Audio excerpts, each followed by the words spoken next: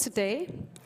We are streaming directly from Copenhagen Fashion Week, and uh, this is our first talk about jewelry. And uh, we have a lot of you uh, following out there, and if you have uh, any questions, feel free to write them in the chat, and we'll make sure to follow up afterwards. So um, I'm here today with Charlotte Lynggaard and Søren Lynggaard from Ole Lynggaard Copenhagen. And um, before we go into the subject we're going to talk about today, I would love a short introduction from both of you.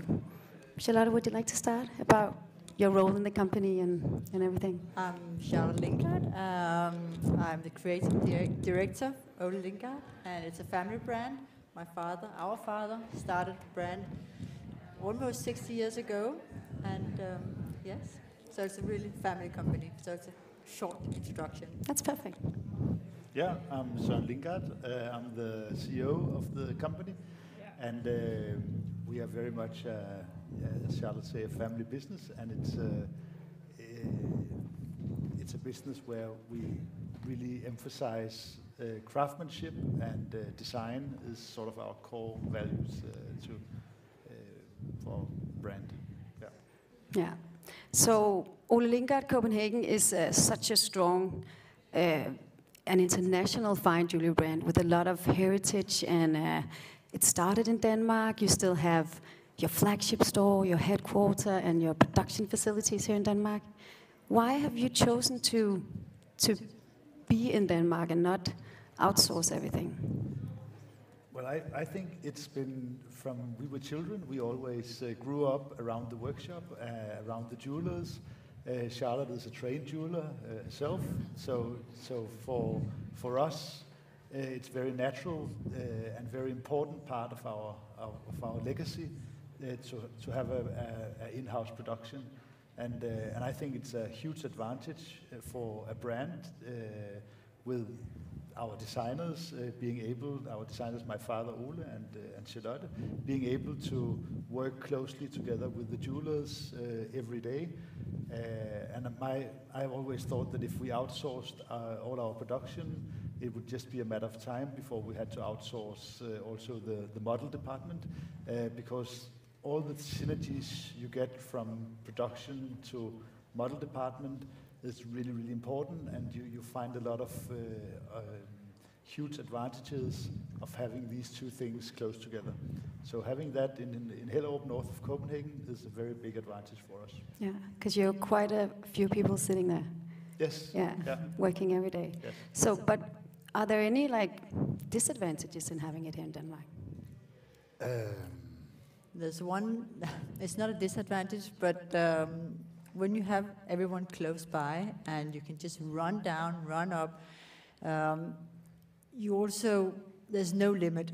So sometimes it's like everything is possible. That's a good thing, of course, but sometimes it's also you press uh, everyone a little bit more because like, no, no, we can do it, we can do it. Um, it's uh, so.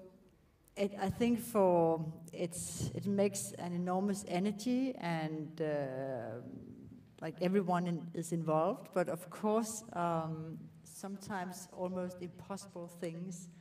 Um, we just pr press the, the limit a little bit. Yeah. So. so you've never been tempted to move the production to somewhere else in the world? no.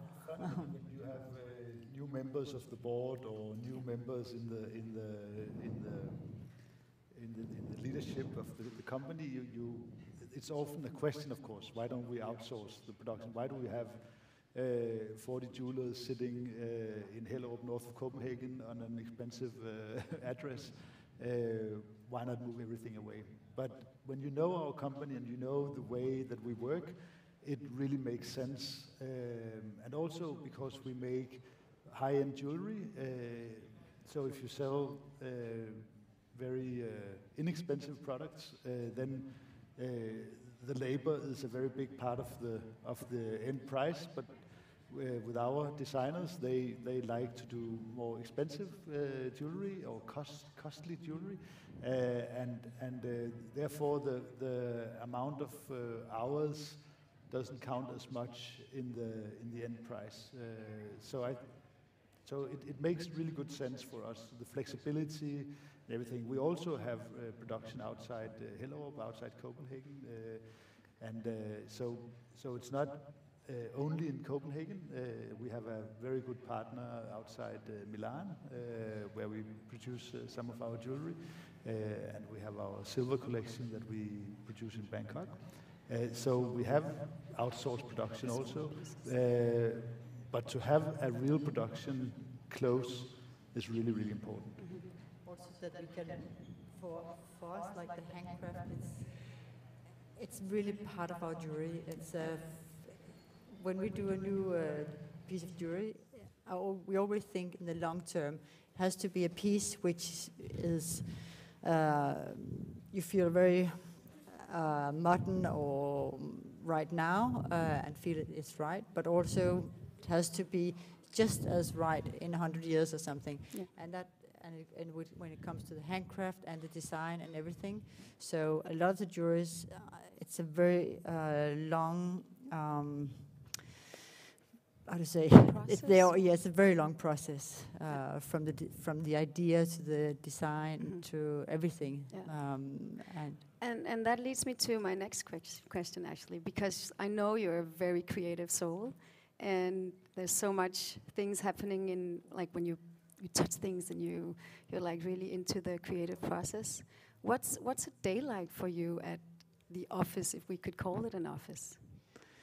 Um, there's no, yeah, not two days I like, but um, I'm also people are very often asking, are, are you sitting somewhere else or where like where do you get your ideas or you but actually I'm very much in uh, in the workshop uh, in Hellerup in uh, where we have everything because I am surrounded there with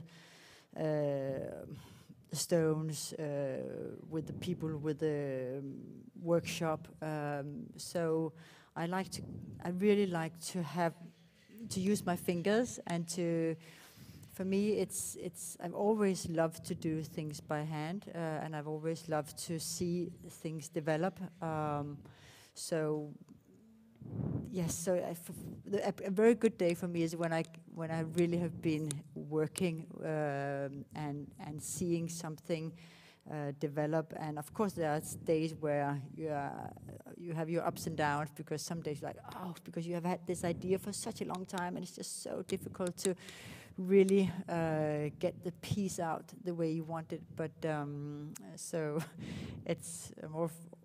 But but then other days you just like almost high because yes, uh, it's you have a success or yeah. something. Yeah. But I also think it's really fun to watch from the outside. I'm not creative myself, uh, so it's fun to it's not only jewelry that Charlotte is uh, deeply involved in. It's also all our uh, advertising, all our view uh, looks, all our uh, windows displays, uh, shop and shop solutions, and everything. Where where if you see our new uh, window in our flagship store in Copenhagen, it's a beautiful window, but it's also a lot of elements, handcrafted elements like small uh, mirrors and a, broom, uh, a, comb. Uh, so it's it's but it and everything is, is is made in our workshop uh, or in our creative area.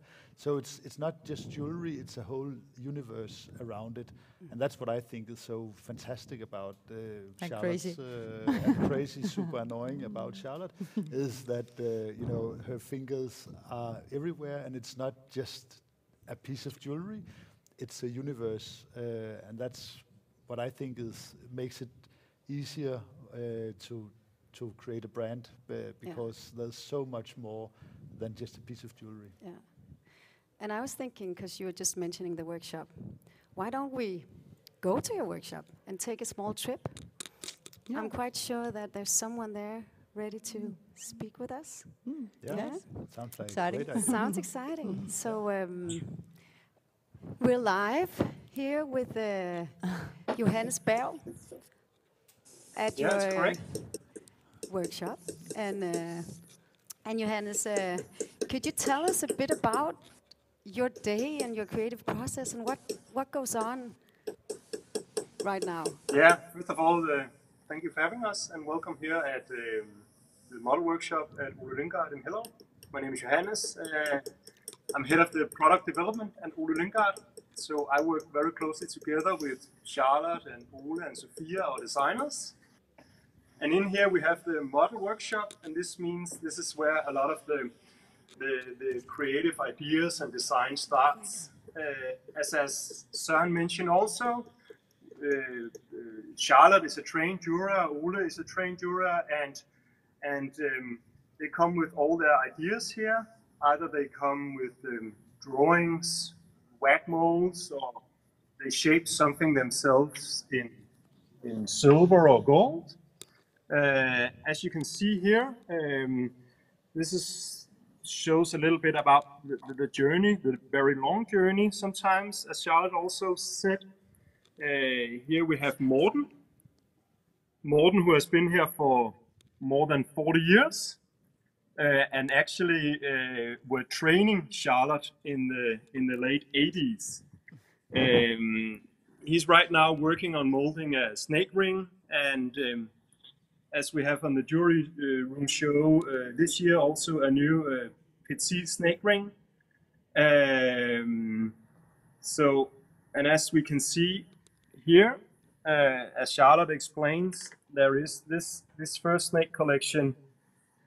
It took several years to make. So there is, when you ask about how, how our days are here, it's a lot of work with the designers and it's a lot of work back and forth.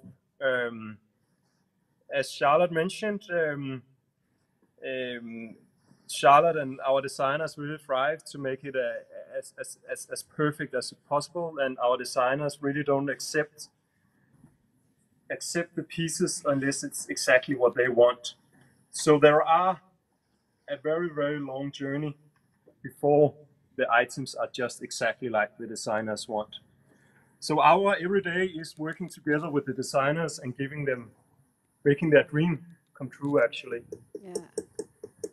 Um, and as you can see here also, um, it's also our job to, when we have made the pieces together with designers, and when the pieces has been approved, we will um, we will put it up and set it up for production.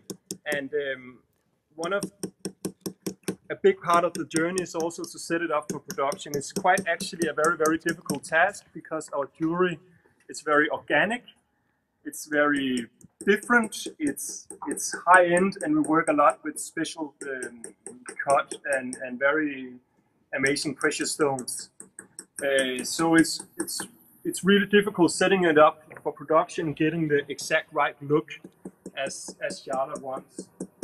And as you can see here, we have a small selection of, of, of the stones that are being set into the snake petit ring. You can see the stones vary, of course, in color.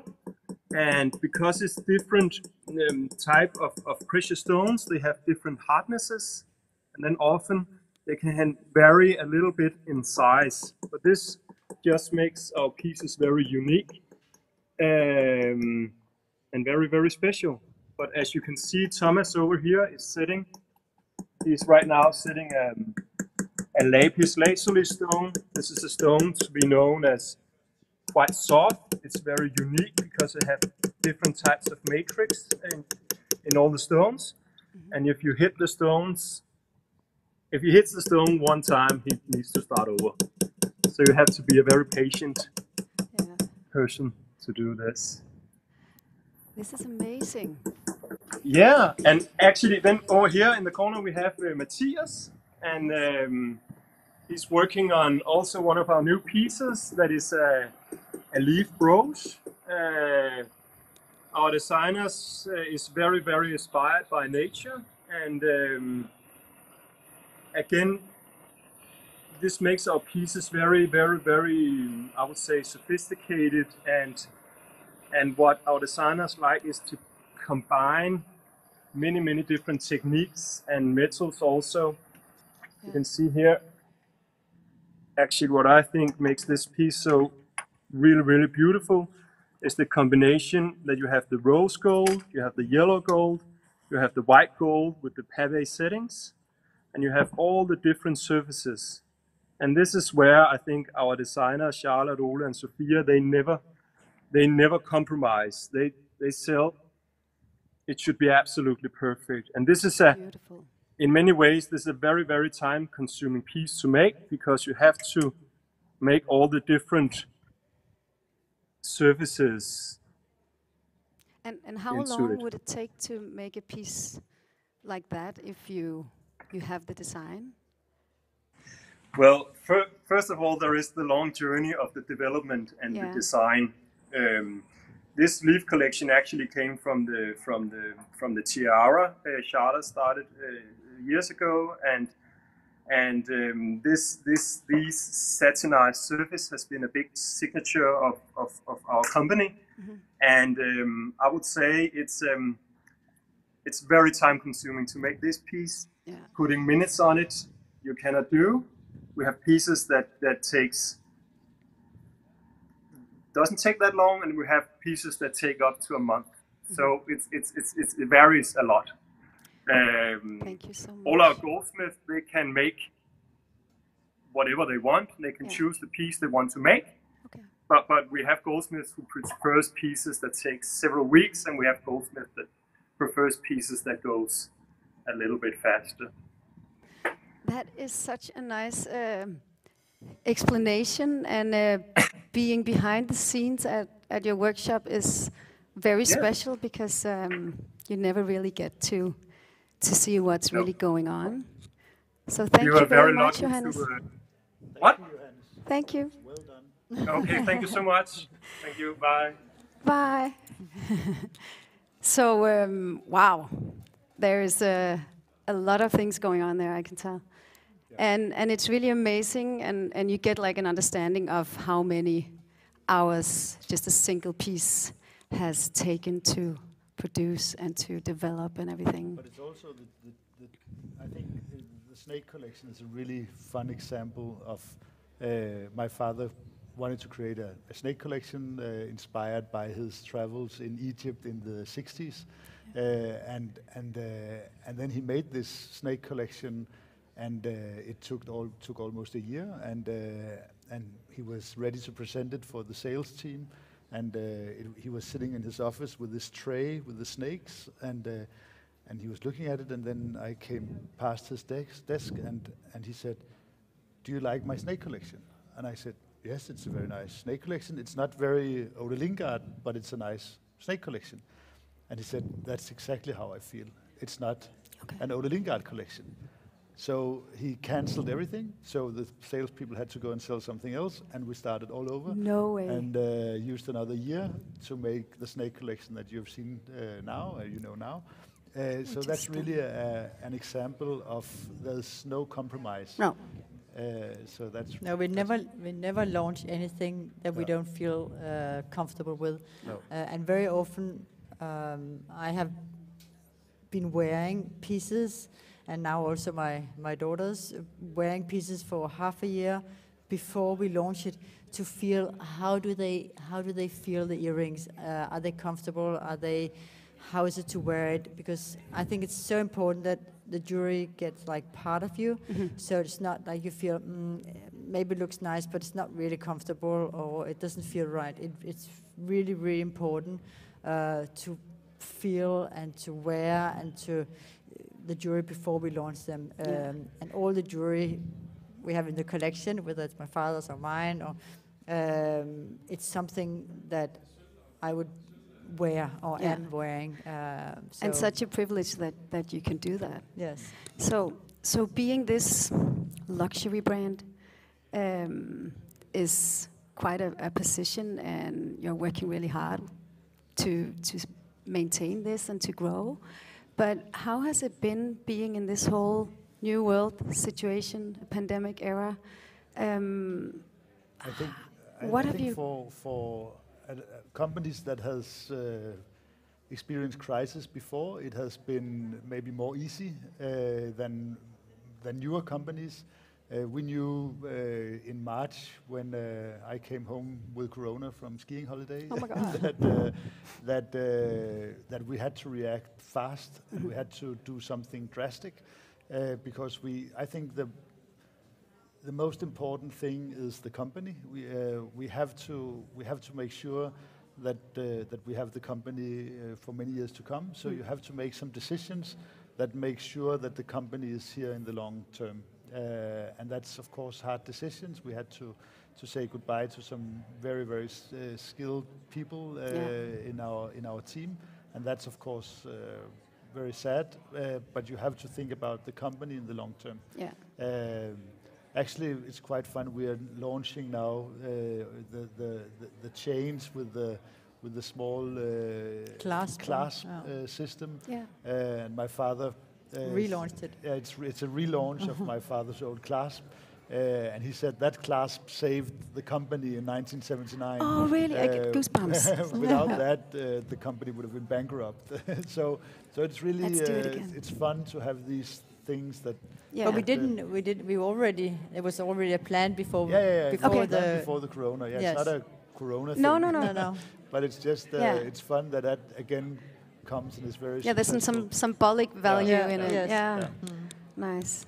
And and um, what about like uh, being Danish in Scandinavia, in Europe? Has it been has there been a difference in, in handling this whole I think situation? it has been a huge advantage to have a production in Denmark yes. uh, because we've been able to to uh, serve our customers uh, worldwide uh, in these uh, past months. yeah. Uh, and especially in Europe, we have really felt a lot of uh, uh, businesses that has really had difficulty to to get their jewelry from wherever they produce it. Mhm. Uh, so for us, it's been a very big advantage to have a production in. So Yeah. you're staying in. Denmark. Yeah. Yeah. It's been possible for us also to work every day. Yeah. Uh, it's been a bit more silent, but it has been possible, and uh, so I think it's also you have had time really to think and to um, so also have a little bit of this space and quietness uh, to, to to go more deep into to different, yeah, of course, the designs and, and the whole company and everything. Um, so that's one of the advantages Yeah. to have. Um, One of many. One of many. yeah. yeah. Um, But we're also very privileged in, in Scandinavia, I think, or Denmark compared to other. Yeah. So could you say there's some bigger learnings um, from from this whole crisis? Is there anything that you're like? I mean, this was- something good always comes out of a crisis. Uh, I think that uh, uh, that also in, in good times it's difficult to to take hard decisions. Yeah. Where in hard times it's easier to take hard Yeah, decisions. yeah. Uh, so I think that uh, in a year uh, when hopefully all this is uh, over, cross fingers crossed.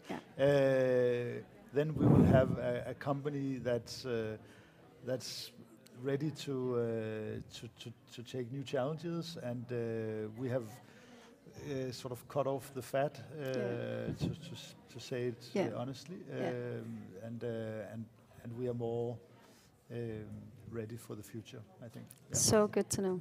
Yeah. We're looking forward to it. Thank you. So thank you so much for Thank being you. part of this Yeah. and uh, for yeah joining the Thank the you. show and the fashion week. And before we finish off, I'd like you, Charlotte, to take us to the jewelry Mm-hmm. just over here Yes. and tell us a bit about the new. Pieces, items, yeah. items, Yes, I will. Thank you. So,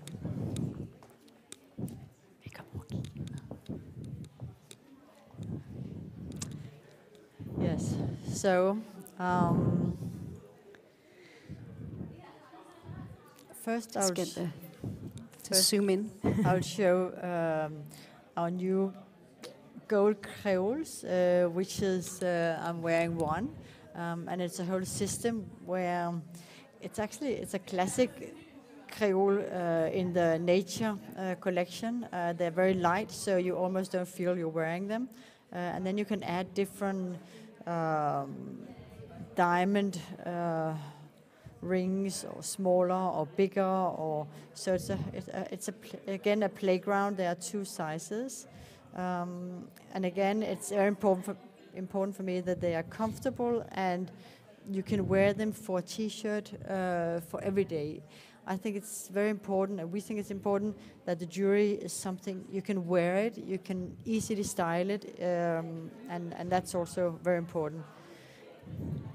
That This is one beautiful. uh, is also a piece uh, which is with the evil eye, with small diamonds around, and an opal. Uh, my father also used opals, a lot of opals and turquoises. Um, I think it's almost 50 years ago.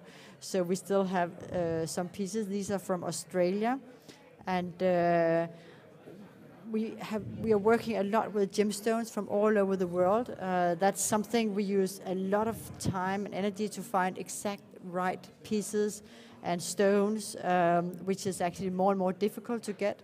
And um, sometimes we have them made special for us, like uh, here the turquoise evil eye um, with a tiger in the middle and an onyx. But also sometimes we find pieces uh, and stones which we then put, make a jewelry around. So uh, this is, uh, and then you have a shooting star, and you can change and, and, and play again. Nice. This this is a new uh, snake collection. And that was one of the pieces Johannes was showing us Yes. from the workshop. Yes, uh, my father, as uh, my brother said, that's his uh, design, the snake. But he wants me to say that I have been interrupting a little bit, so I have uh, also. I'm a little bit. It's a combination of his design and my design. Uh, so now the whole snake collection is actually uh, a lot of different uh, styles with different stones uh, and smaller and bigger pieces with and without diamonds. Beautiful. So um, And a lot of collection is really developing. Hmm? yeah, and a lot of colors. A lot of colors. Yeah. I love colors, and I think it's it's again um, also when you use turquoises, malachite. Um, it's a stone we of course saw a lot like many years ago, but it's it's.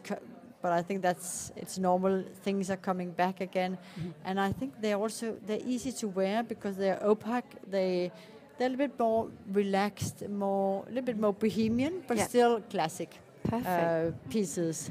And here you also have the chain, which was uh, the system. We have Sophia Yeah, here, Sophia which is is also part of the company, and Laura, which is my two daughters, and also wearing, uh, as you can see, the different chain. And you open, it's a system that my father, as my we were talking about, he developed uh, developed in s- '74, so it's quite some years ago. Um, so this one is a clasp that has been working for so many years and is still very strong and you can play with it so you can just change it from one chain to another and there are different sizes and they actually go very well, very well with the new collection Yeah. you can't see that it's made so many years ago and you can also have like on the pearls different pearls where you can change so smaller and bigger clasps um, and we have a lot of different designs with the chain It's such a clever and very on time uh, relaunch. Yeah. So, yeah. And this, people ask, why do we have these things lying? It's not that we forgot to take them away, but it's just, it's just because we, it's our powder room. It's like the woman's uh, table, like what she likes to have, be surrounded with her in the morning. There, what is she going? She's going to do her hair, put her jewelry on, And so that's else. also part of our windows in our flagship stores. That's what we are working with. Our new small um, jewelry boxes, uh, which in silk, uh, which are very nice to travel with, and um, yes, always have on you. Thank you so much, Arlen. That was a very nice tour of the new pieces we all want right now. Um, but uh, they're on the wish list for sure. yes. So, Thank you. thank you so much. Thank you so Thank much you. for making it possible. Should we say bye and uh, Uh, thank you. follow online for the next thing? Thank See you. ya.